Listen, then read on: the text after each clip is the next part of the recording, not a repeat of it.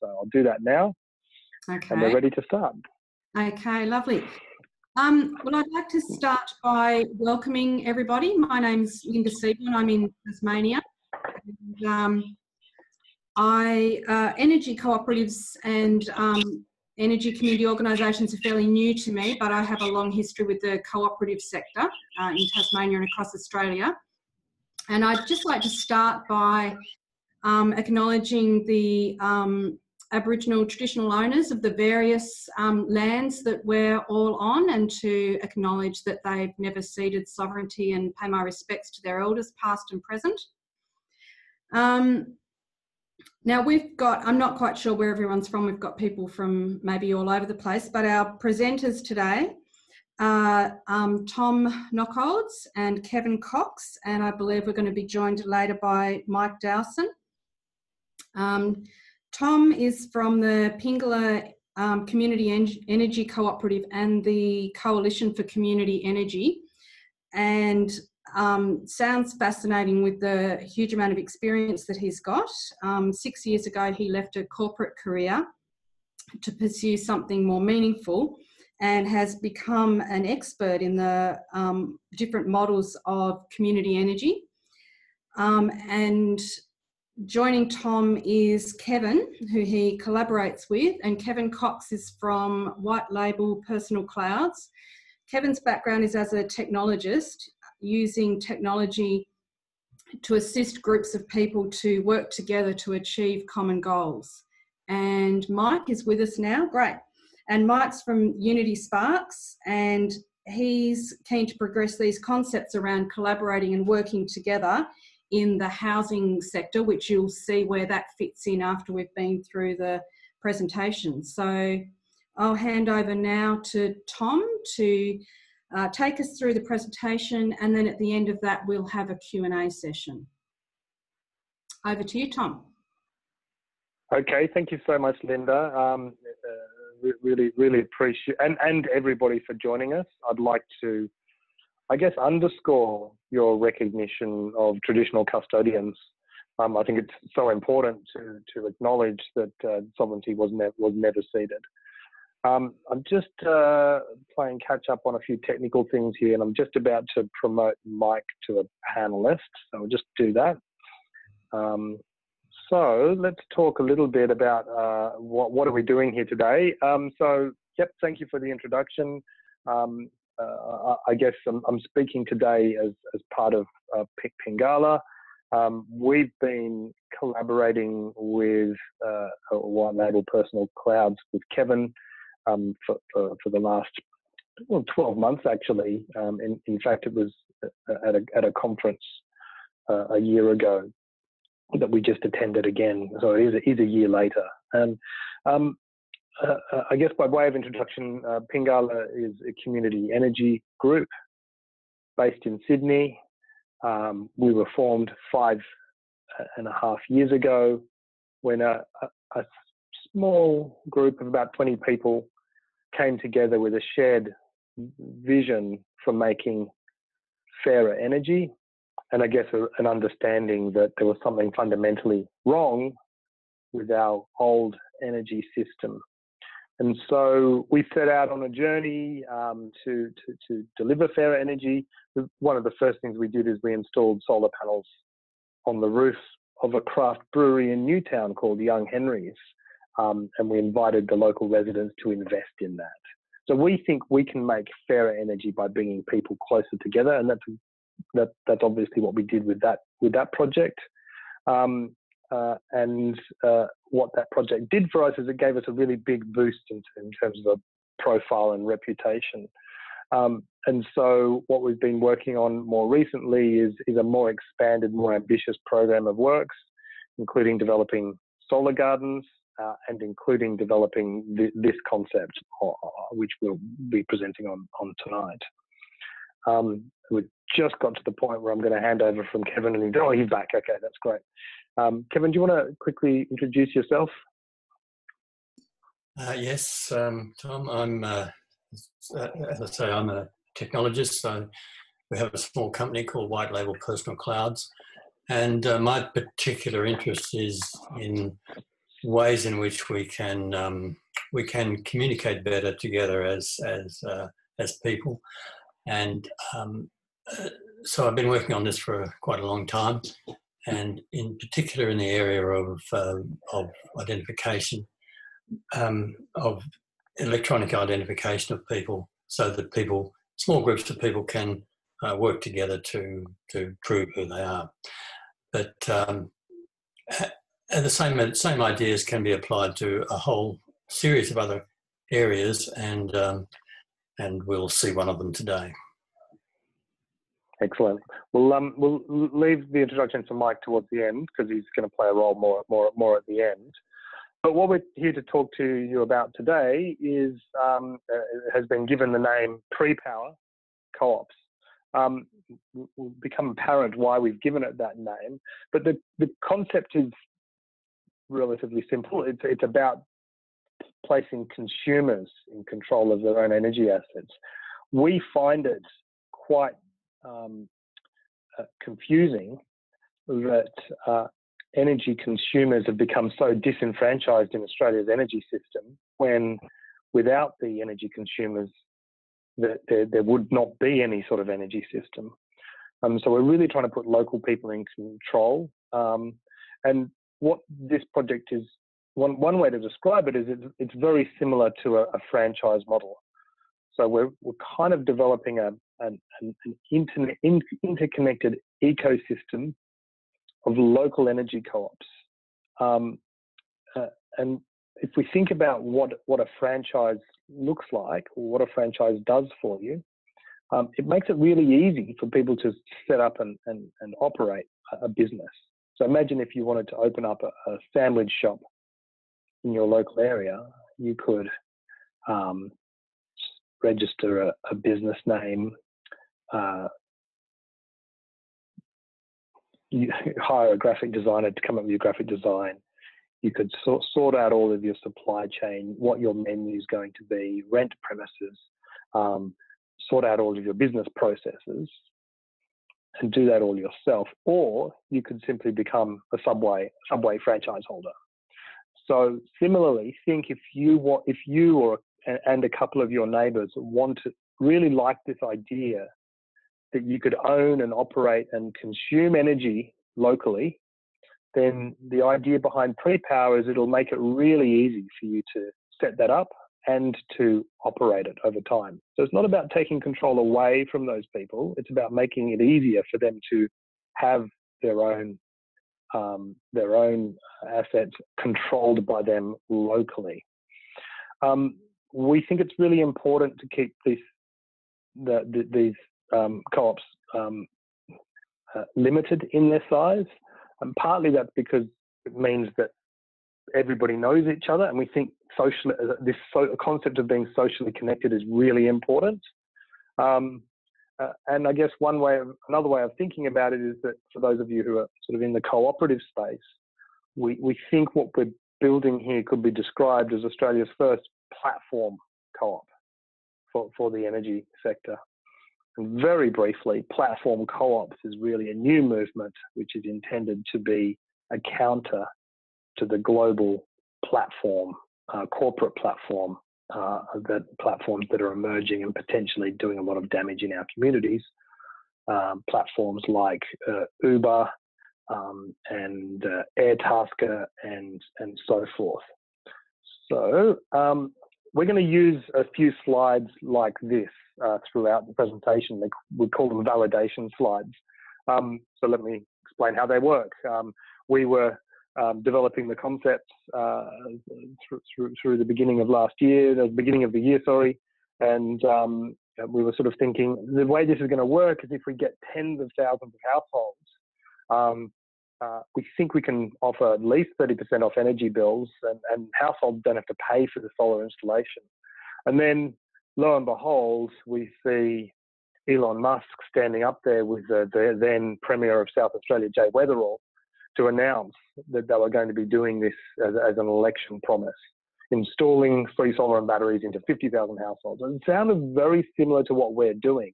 Um, and so we take that as, as a big validation that, that, that, that this idea's time has come. Um, but there's uh, some key differences between this and what we're, what we're doing. So the, the outcome or the result uh, for that that South Australian deal is likely to be that the assets are privately owned, um, not really no opportunity for locals to invest, and and, and got big backing by the government. Um, now, this is a bit of a theme. Uh, the space that that that we're entering here um, is very crowded, um, and uh, it feels a bit like there's a bit of a land grab going on at the moment. In, in fact, it's not a land grab; it's a roof grab. Um, any number of corporate players are getting into offering households um, free solar and batteries and um, an opportunity to participate in the energy market in new and inventive ways. And uh, we're pretty sure we know why there's so many people rushing into that space. It's because they want to um, uh, have a slice of the energy bills that those customers are paying. They want to extract value out of those communities. So um, just to set the scene as we go through the presentation, um, I just want to get a couple of con concepts uh, across. For some people on the line, this is obviously really basic stuff, but but I think it's important.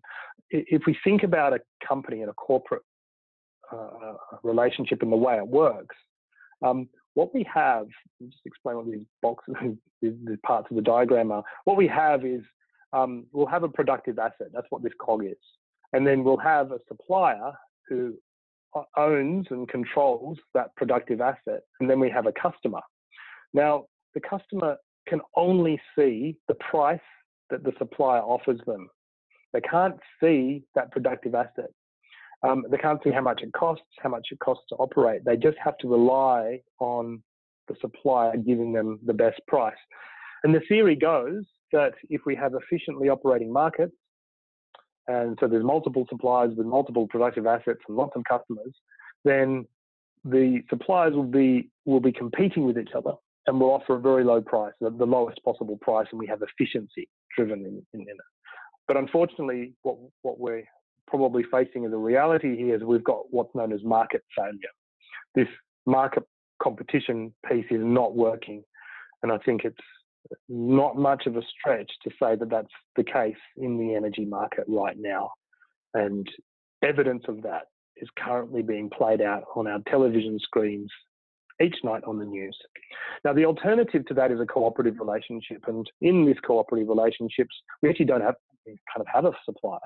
What we have is a bunch of consumers who collectively own and operate productive assets. And so it completely changes the dynamic. It means that people are working collaboratively to make sure that that productive asset is working as efficiently as possible to give them the best price and the best products that they want. So that's kind of what we're what we're working on here. We're working on a, on a, on a cooperative model for local ownership of energy assets. Um, and just going back to invoking that idea of uh, of a franchise model, we're we're creating an ecosystem, um, and where we're starting is um, uh, Kevin's company is, is providing us, we'll get into detail on all of this stuff, but Kevin's company is providing us with the information systems technology platform, uh, white label personal clouds. Um, Power, kind of, this is the work that Pingala is doing, is packaging that up into that sort of franchise model to make it really easy to do the administration, the day-to-day systems and processes. And then we've got the first example of a local energy co-op um, currently being set up in, in Canberra. And then what's not shown here, but as the top of here is going to be dozens, hundreds of households in, in each one of those uh, local energy co-ops. And there'll be lots of local energy co-ops. We're starting here with electricity, but we think in the future there's opportunities to do this in other areas, uh, sort of as, as illustrated there. Um, now, uh, Kevin, do you have anything to add at that point? Are you happy to make, keep, keep rolling on? I think it's important, Tom, to realise that Pre-Power Proprietary Limited and White Label Personal Cloud Proprietary Limited will will morph into co-ops. We've just done it this way yep. at the moment because that's it's easiest to create companies than it is to create co-ops. Yep.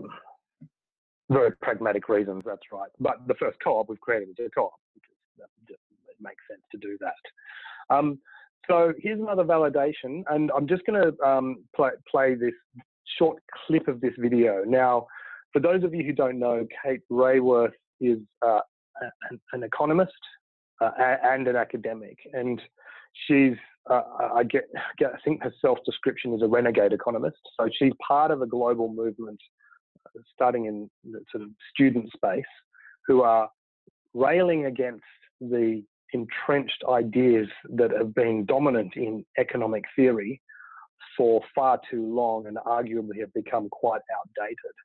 And you watch watch a thinker like this emerge and you start to see their their stories appear in, in your in your radio and podcast streams, then you'll see them doing a perhaps a presentation on a on a TEDx, a local version of a TED talk, and then ultimately you'll see them doing a, a, a full blown TED presentation. And Kate um, spoke at the New Economy Network Australia conference last year, where Kevin and I uh, uh, Kevin and I met, and shortly afterwards she did her TED talk. So I'm just going to play this little clip because what it tells us is there's some really big um, thinkers who are thinking beyond the current economic framework um, that is exactly the same line of thinking as, as, what we're working on. So hopefully the technology is going to work on me here. We did do a test on this, and hopefully it's going to play in your screens with with with audio.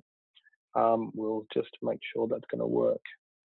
Uh, and if I click that, it's going to open up a new browser window and open up Kate's lovely talk.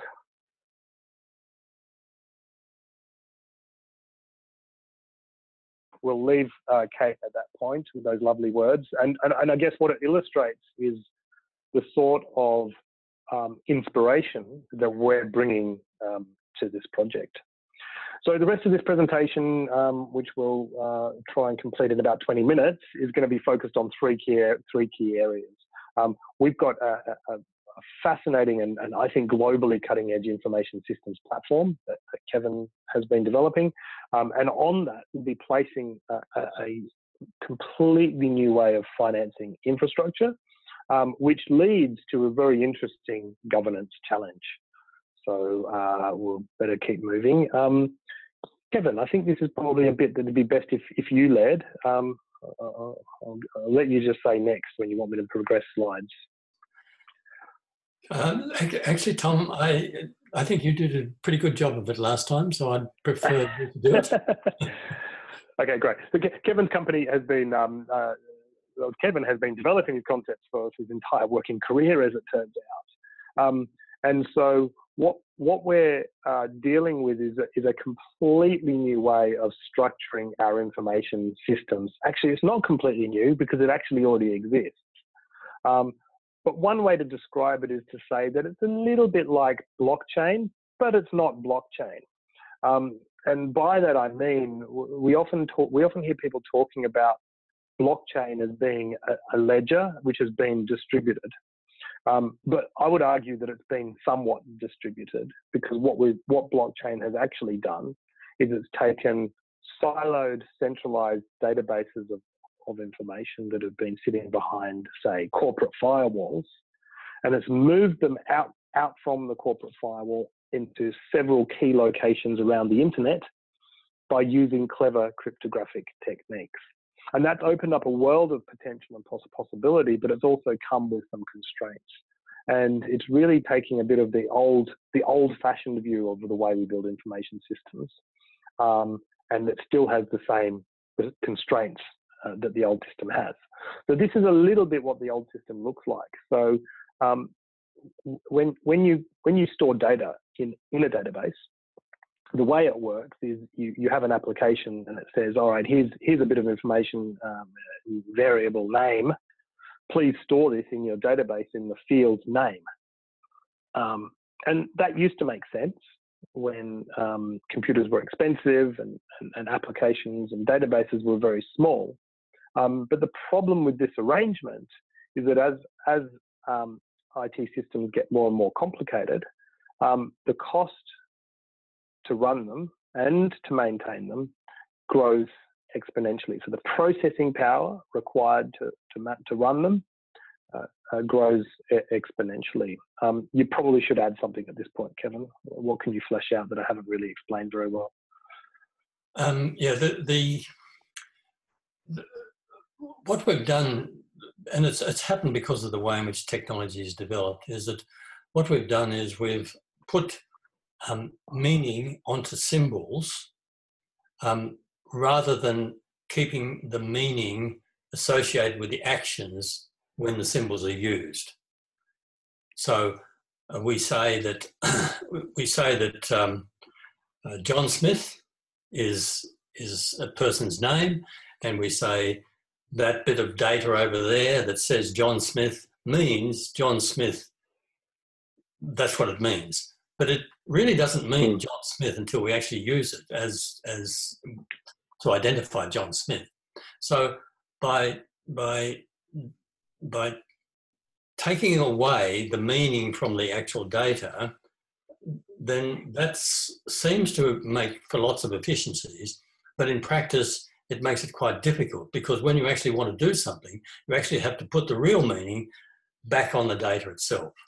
And that becomes really, really expensive, and it becomes very, very expensive when the when the data is is money. When the, when we've got symbols that represent value, and then now what we've done is isolate the reason for the value from the symbol. And that leads to all sorts of inefficiencies and, and great problems associated with it. And that's, that's the essential idea. Okay, so essentially what we're saying is, um, well, I guess my extension to your point there is that this this is much more this new system, um, which is actually the old system, is much more like um, the way the world works in where the world really actually works, both both in nature but also in our brains as well. Um, it's not like our brains have databases and tables, and we have a field called name. And when I see someone's shape that I recognize, I'm able to recall that. It doesn't work that way. It's it's because I've seen that person that my brain is able to use the data, and it's through the use of the data that, that, that the meaning takes place, just underscoring what Kevin said. Now, turns out that um, Kevin's actually already developed something which, which capitalizes on these exact characteristics. Do you want me to kick off on the explanation of what you did with uh, identity, Kevin, and you fill in the blanks? Uh, yes, yes, please. Yep. So here's how you. The, Kevin's already um, been centrally involved. In fact, created a company that that was using these techniques to prove prove people's identity electronically.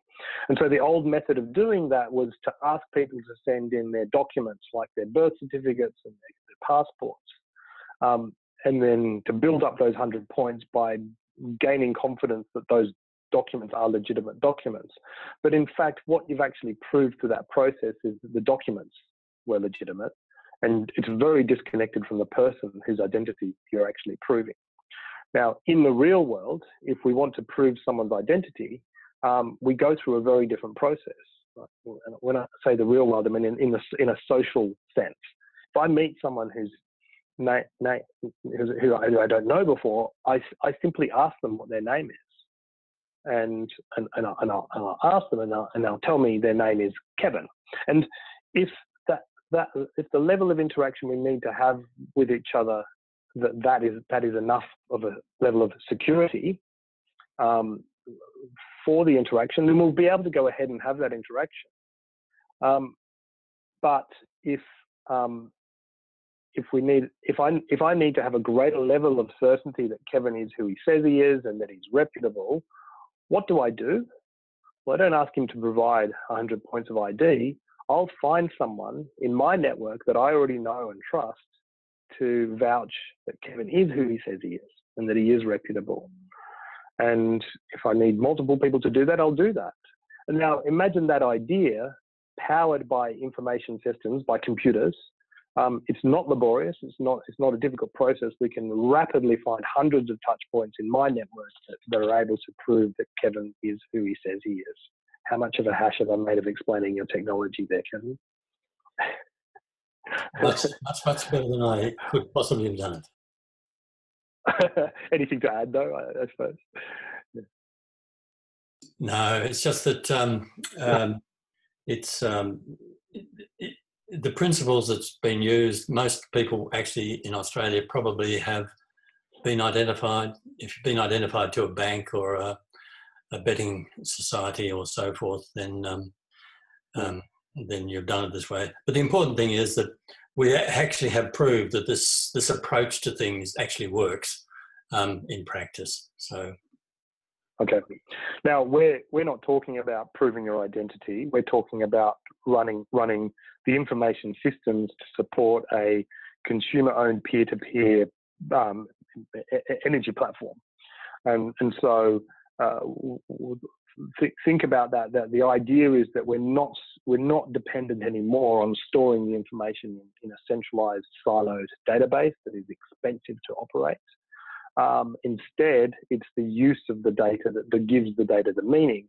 Now, um, that means that we have the potential to um, bring all the data under the control of the individual.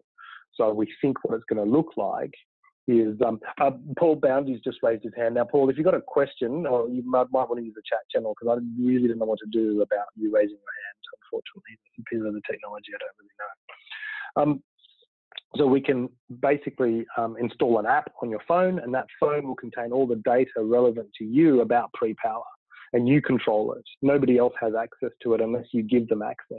And it, and it has all the information about the interactions that you've had with the co-op and the other members of the co-op. So um, we think there's two, at least two, very interesting projects out there that, that, are, that are telling us that we're not the only people heading along this way. Solid is a project that's being, I guess, led, uh, spearhead, spearheaded by uh, the so-called inventor of the internet, Tim Berners-Lee.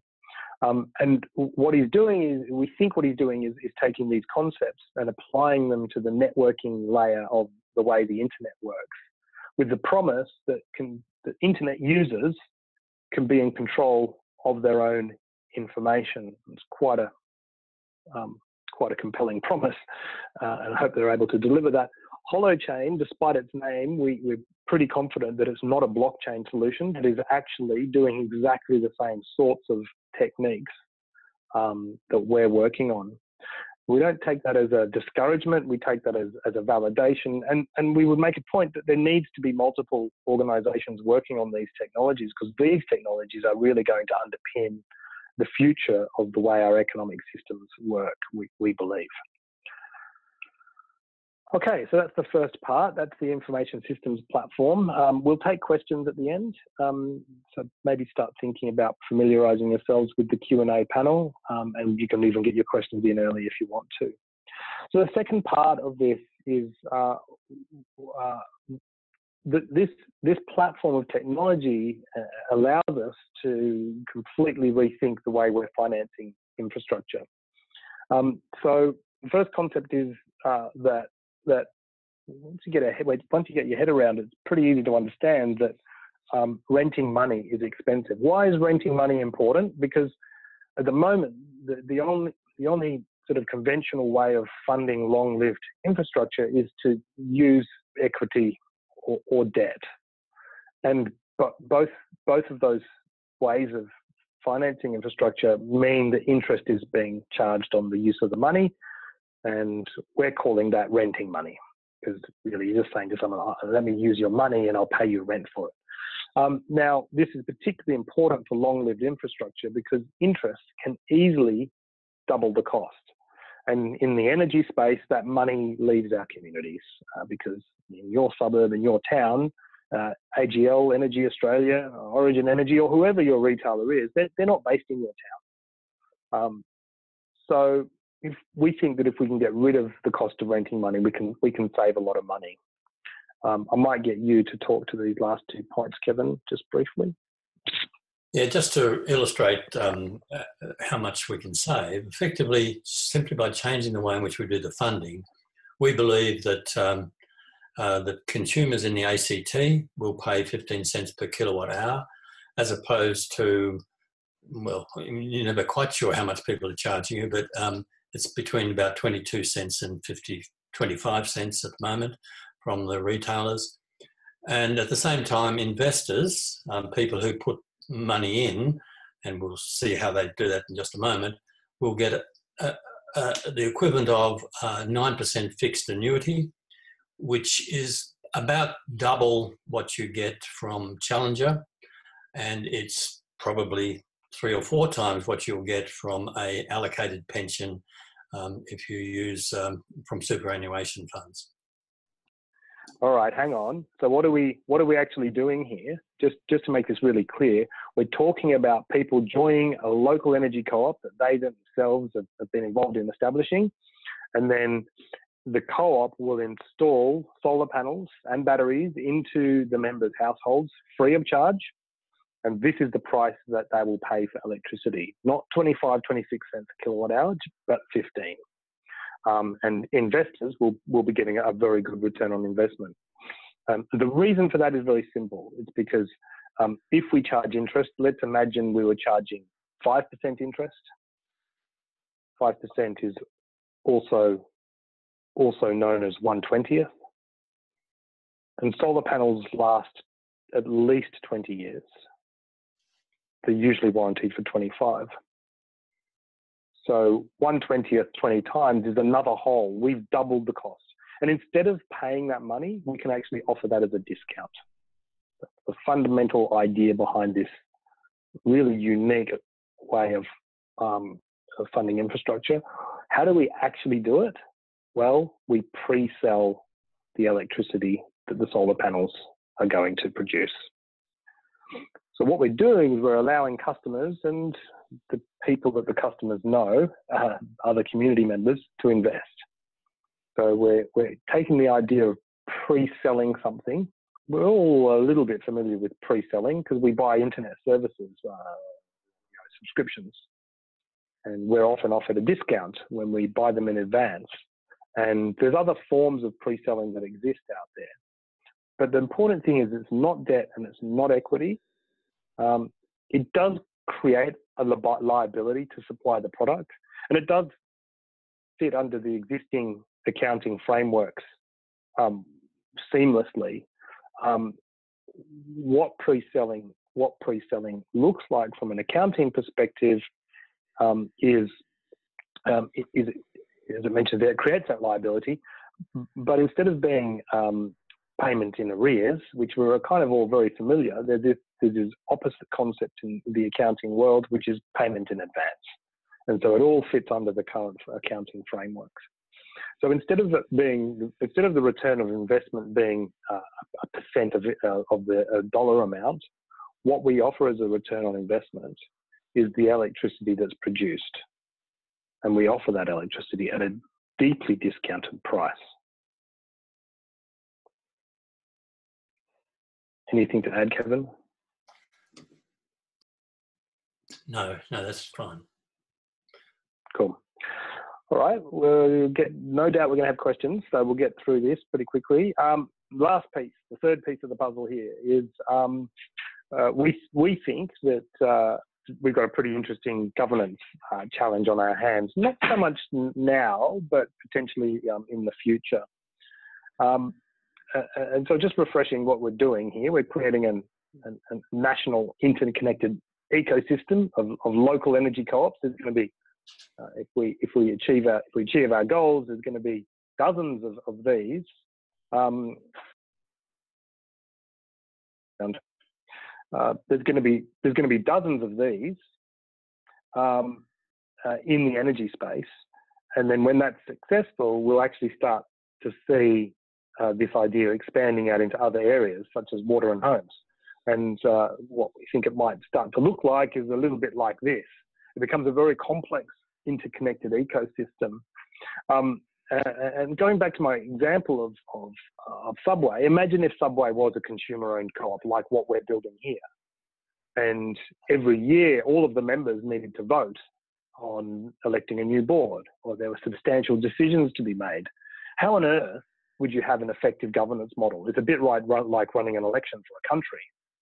Um, and so we're not really tackling this challenge head on at the moment, but we are very conscious and mindful um, that we need to be thinking about it and building it in um, from the from the, the beginning stages. We need to make sure that customers and suppliers are being considered, that in, investors and workers are also being considered, and for that matter, um, the broader interests of, of the community uh, are being considered. And I guess one of the um, one of the interesting ideas um, that has occurred to us is, um, uh, I guess, partly coming out of um, the, some of the research that we've done. Um, we've been researching how do you how, do, how does governance of large cooperatives work. Um, there's not a massive amount of information out there, to be honest, but thankfully, a very recent publication coming out of the UK from Cooperatives UK, written by Professor Johnston Birchall, um, seems to be one of the best documents available, and it's, and it's less than a year old, I believe. Um, now, there's a lot in this publication, but uh, one of the things that I take out of it is this fundamental principles that really what you're looking for in large cooperative governance. So we're talking about governance as being in the sense of how do you have a well functioning board who are properly um, fulfilling the functions of a board. So scanning strategically for threats and opportunities and uh, running the compliance of the organization and so forth. And they really distill it down to these three key elements that you need to achieve. You need to make sure that you've got proper representation on the board, that the broad voices of the membership is being heard, and that there is expertise on the board. Now, we're working here in, in the in, community energy space, the cooperative space, and the new economy space. Now, simultaneously, there's a bunch of people who are realizing this fundamental, well, we're realizing there's fundamental problems with the way our economies are structured. There are other people, um, perhaps some of them are on the call, who are realizing there's fundamental problems with the way our democracy is working. And they include people like Brett Hennig from the Sortition Foundation in Australia, um, and the amazing people at um, the New Democracy Foundation um, in Australia. Um, and one of the messages that seems to be coming through really clearly right now, and this is in relation to democratic systems, so elected representatives in states, not businesses, um, is that we don't necessarily need to have experts on top. What we can do is we can use some, some new democracy techniques, actually, it's not new, they're very old, um, to um, bring the voice, sorry, bring, bring the experts in to the regular people. And regular people have an amazing cap capacity to make sensible decisions. What they need to be given is an opportunity to deliberate and have that expertise so they can make those decisions.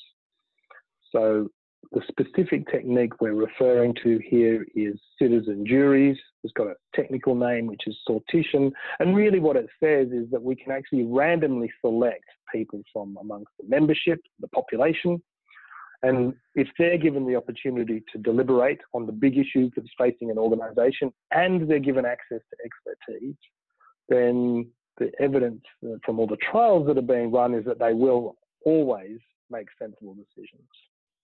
So if we remove experts out of the board and we simply put them on tap available, what we've potentially done is we're simplifying the governance model. It's just an idea at this stage, but that's part of what we're doing to sort of tackle this challenge.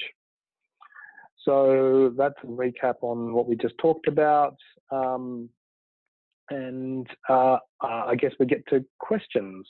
So the only way we can really ask questions is through the Q&A panel. Um, I think, Linda, you're going to try and facilitate this. Is that right? That's right. Yeah. Um, Great.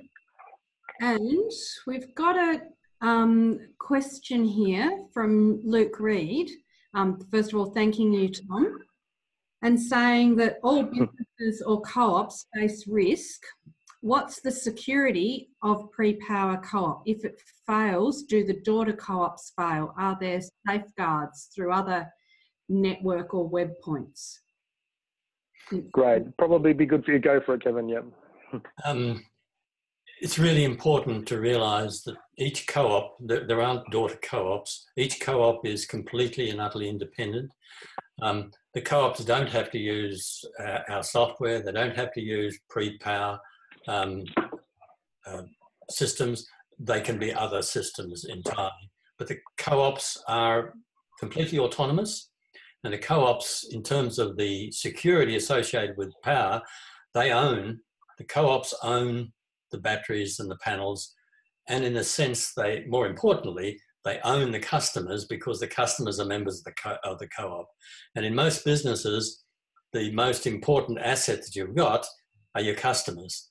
So the security of these things is actually very high because they have a lot of flexibility and they can draw on assistance from the other um, co-ops that are in the network um, to to help them out if they get into into severe troubles. So, for example, you know, if, if there's a terrible hail hailstorm in in um, in Canberra and we get wiped out or something like that, then uh, it's not it's pretty easy to to realise that the other co-ops can come to the rescue of um, of, of of individual co-ops. Do you want to quickly, yeah? Can you quickly share your thoughts about the the IT platform because it's you know, one one description for it is that it's a complex adaptive system, and, and can you just talk about how that yeah um, emergent property really helps with this this question? Yeah, you, you, each of the each uh, when we're on our own as an individual, you're pretty powerless. You can't do very much. But if you can work together with one or two other people, or 30 or 40 or 100 people, you now become, you now become uh, uh, powerful. And if you can speak as one voice, then you become really, really very powerful. And, and, and each of these, each of these entities is autonomous in the sense that, in the sense that you don't have to be there. You can always leave these, these things without penalty and, and you can, and other people can come into them as, without penalty. Um, but when you leave, you don't take away any of the, um, you get replaced by someone else effectively, rather than rather than the, the co-op being um, being uh, uh, um, destroyed by yeah, yeah parts of the stuff. Yeah. So, so, so, so, how can a co-op, you know, fail as it were, Kevin? My understanding is is that of course, if, if all the all the members leave, all the customers who are the members leave, then it just gets smaller and smaller and smaller to the point where it's really not worth con- continuing on. But that's not the same as a catastrophic corporate failure. Correct, and and the the financial backing essentially is is the fact that you've got you've got the panels, you've got the batteries, and you've got the customers. Yep. Yeah, so we have a lot of power as customers. Go, Linda. Um, so, Luke, does that answer your question? I'll have to type. It might take a it might take a few seconds to type his answer. um, because it was a fairly complicated. We... had three different parts to it. Um, yep, mostly. yeah. Okay. Um, I had one. I was interested in um, the kind of I don't know if hierarchy is the right word, um, but the the co-op ping the Pingala, the pre-power proprietary limited that's um, evolving into a cooperative. Who are the members of that cooperative? Are the local energy co-ops the members, which then makes them the owners of that co-op? Can I answer that? Yeah. Uh, you, so we you go, Kevin. You go, Kevin. Um, the, the, the no one owns the co-ops. I mean, one, one of the you know co-op the co-ops will be not for profits. There is no ownership in the sense that this little bit of the co-op is mine, or this little bit of the co-op is yours. Yeah. The co-op is is an entity. It is it is a solid thing. So, um, uh, so you, you, don't think of it along ownership lines. Um, you you think of the batteries on your roof, for example. You, you you it's more like you have custodianship over the things. Yeah. Custodian so, is exactly the right description, I think. Yeah. Yeah. So so that's the that's that's why it works, you know, in a sense. So who yeah. are the, I guess. Uh, yeah. You go. I, I, I just, I, I, guess I just, I just fleshed that out about it. And it's like, it's a slightly different perspective. I'm not, I'm not contradicting what Kevin said at all. I completely agree with him. But in a sort of a, a governance decision making, who has control over the co-op sense, who owns them that way?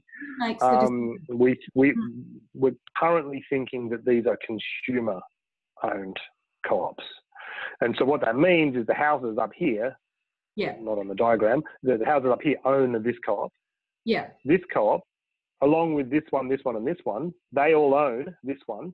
That's this co-op, along with this one, this one, this one, they all own this one. Yeah. Yeah. Mm. And, and there will be people, other members of the co-op who will put in money into pre-power Pingala and into money into pre-services WLPC. Um, so they will they will operate.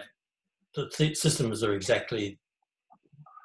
It's a fractal type system as opposed to a hierarchy. Yeah, I love that description, fractal. Yeah. Yeah. yeah, and think of think of Kate Raworth's great little diagrams of that hub and spoke, and then that network. This is a little bit more like a network than than, than that hub and spoke. Oops, going the wrong way. Um, I'm just wondering whether it would be good to hear from Mike about how this might apply to housing. Would you like to do that, Mike? You'd have to unmute your microphone. Yeah. Yep, yep, yep. Yeah, it took me a while, but I did figure out how to do that in the end. Yeah. Uh, yeah, so as uh, Linda suggests, my interest is, although I'm, I'm, I've been a follower of uh, Kevin's work for quite a while and um, uh, very interested to see the way it's developing uh, with Tom into the energy space. My particular interest is in how it might be applied to housing.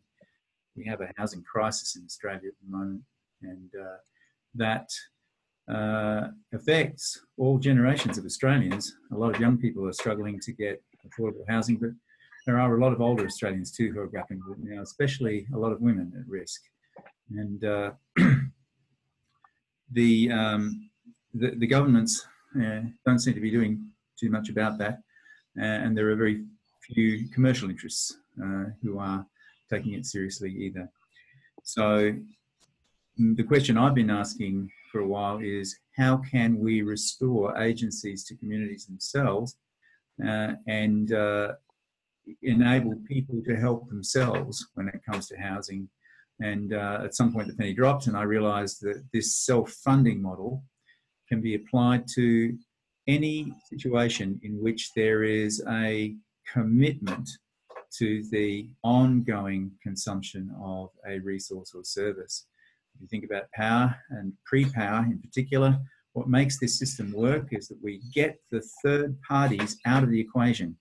Uh, institutions like banks who suck value out of these community ventures uh, merely for the fact of providing some capital at the beginning to enable setup and infrastructure and so on. Uh, by getting those third parties out of the equation, we're preserving all of the value of enterprise within the community that owns the enterprise and benefits from it. saving massive amounts of money over the long term, as Tom said, it doubles the cost if you if you have to get a bank to pay for your infrastructure. So that's an enormous saving, and uh, but it works because we have a, an ongoing commitment to consume the resource. We don't suddenly decide next week that we don't want any power. That's very unlikely. We're going to want to keep turning the lights on. We're going to want to keep running the stove and the fridge. So, uh, in any situation where uh, the the resource or the service that we're consuming is like that, this pre-funding could be applied. Now, the obvious one is housing, where uh, we're going to want somewhere to live. uh, and it's possible to set up housing under a co-op structure as well uh, and afford different kinds of participation to different kinds of people. So, um, you know, the spectrum could cover investors, uh, uh, owner occupiers, people renting to buy, and renters uh, within uh, a co-op funding model.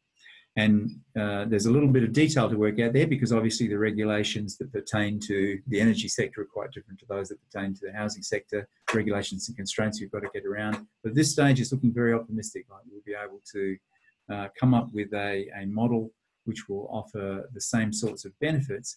And when we're talking about housing, we're talking about some very big numbers as well, because typically housing is much more expensive than the energy that runs the house.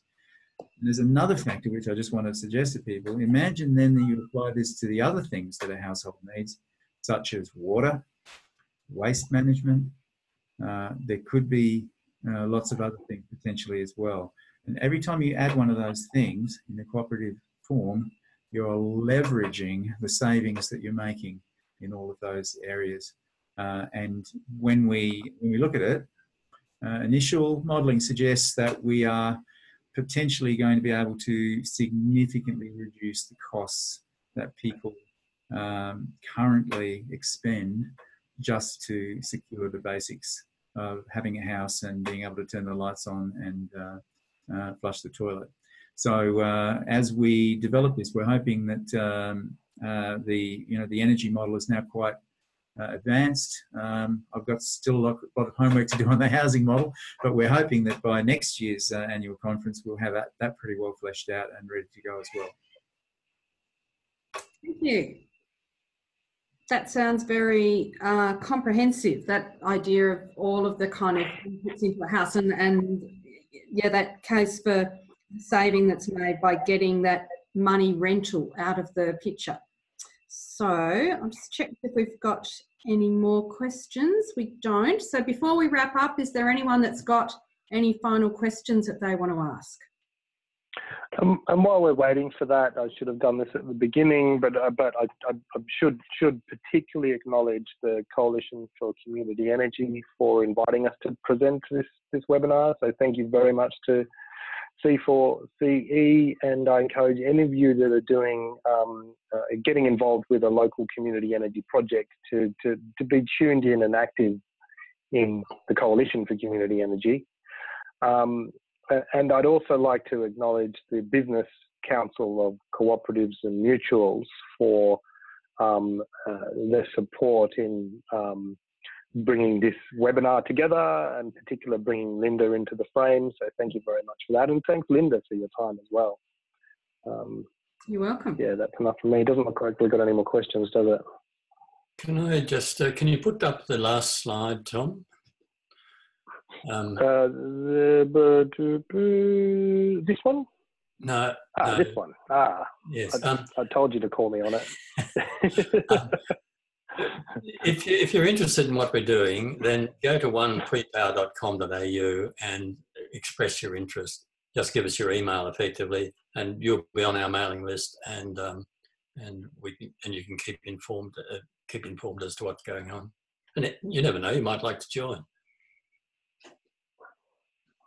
Yeah, and just just on that, um, the first the first co-op, and we're, we're giving we're giving the name Pre-Power One, the first co-op is, is being set up in Canberra.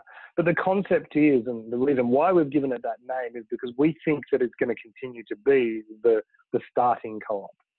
So what's likely to happen is if this, when, when this is a success in Canberra, it will get to the point where there's so many people from one particular suburb that there'll be a need for them to um, hive off, swarm off, and create um, I, I don't know, Acton dot pre-power and and become a suburban-based uh, pre-power example. So you know, don't, don't, don't be afraid of joining pre-power one. It is it is probably where it would start for you in your community if you wanted to go down that path.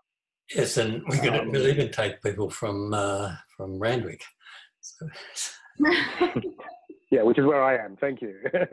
Sounds like um, a good um, yeah. Um, there's a question that's come in on us to give an update on the um, on the Four Pines project. I think we'll do that after we stop recording. Happy to do that for anybody that wants to hang around. Um, Joe, oh no, questions are coming in. Good on you, people. Linda? Uh, yes, there's a question there from Joe. Where does the grid and the retailer power fit into this model? Okay. Um, Yeah. Um, oh, you, you go ahead, Tom. Oh, sure, sure. Um, uh, first, first of all, Pingala is really strong on this point that it's, it's not a good idea to go off grid. Um, it's very expensive for the individual household and would therefore be very expensive for the co-op. But it's also a very um, socially, um, uh, it, has a major equal, equity problem built into it when lots of houses go off the grid. Now, what we're doing is we're starting with installing local energy. So um, solar panels on the roof, batteries in the garage, and that will allow us to supply a very large proportion of the household's energy needs, but not all of it. So the retailer will still be involved. And so what we're looking for is retailers to partner with um, to help us do this. Um, but but the, the, the intention is, is at least at the beginning, the, the, the, the retailer will still be involved in the same way as a retailer is still involved if you've bought your own solar panel and panels and you've got them on your own roof. So I hope that answered that question. Um, one of the important principles that when you have distributed systems is that you can construct them so that the existing systems remain exactly the same. So we don't change Yeah. banking. We don't change. We don't. We don't need to change banking. We don't need new regulations. We don't need new, a new Australian energy um, uh, thing. We don't have to do any of that. We just do our own little bit Mm. uh, and fit in with what already exists. And you can do that when you build distributed systems. So can I just check that? Um, I thought that was really interesting, that point that you made about equity there. And you said that um, going off grid, if lots of people go off grid, it has an equity issue. Do you mean that it, it undermines the existing infrastructure in a way that disadvantages, say, people who are not members of the co-op and that you want to avoid this? Um, and I think that's what you were saying, Kev, but the, Kevin, the distributive system maintains the integrity of the existing systems. And is that about protecting people that are more vulnerable? Correct. It's, it's all about more vulnerable people, and it's, Yeah. Cool. it's not it's not the only factor, but one of the major factors in this is the way the energy market rules work. And the way those rules work is that the cost of the network is Mhm. smeared across all of the customers. Yeah. And so um, every, every year or whatever, the, the, the, the network companies go to the regulators and say, we've got this many customers and this many this much cost. So therefore, we need to charge each one of the customers this much money. So when the rich and the middle class and the able pay, fall off the grid, Yeah. the, the poor and the vulnerable are left behind, and the costs of the network get smeared across them Yeah. and they're left to pay for the infrastructure while those who are able to leave have left. It's, Yeah. it's deeply unfair and it's a really bad idea. There's another Yeah. point that I really want to get across because it's actually just very undesirable. What, where we're heading towards is a much more dynamic um, uh, and active energy system the old system where we'd have big centralized coal-fired power stations that just pumped out a lot of energy and it went one way out to our houses and businesses, that, that's gone. The new system is going to have houses producing energy, businesses producing energy, consumption rate rates going up and down. And the way it's going to work is when we have a vibrant and active energy grid. And the only way that works is when we have houses on the network. Yeah. Great. So I Yep. think we have passed the time that we were going to finish. So from here, um, I guess we should wrap up for people that need to leave, but there is the option to stick around for the update on the um, Four Pines project. Like Yeah, and the only reason I think we should answer it afterwards is is because it's, it's quite a time limited answer, and it doesn't make sense to capture that on the recording. Mhm, mhm. Okay. Yeah. Well, we'll close up the formal part of the um, presentation and um, thank you. Thank you very much for a really, really interesting session. I've learned a lot. I'm really glad that um, the BCCM linked me up with you and I got to be here and learn about this. It's been uh, quite inspiring. Um, there's obviously years of work that's gone into the knowledge that you've brought here And um, I'm sure that I speak for everybody that we yeah appreciate your time and effort and sharing this, and it, hope this goes on to be a very big part of Australia's energy system. Thank you. Thank you. Thank you, Linda. Thank you.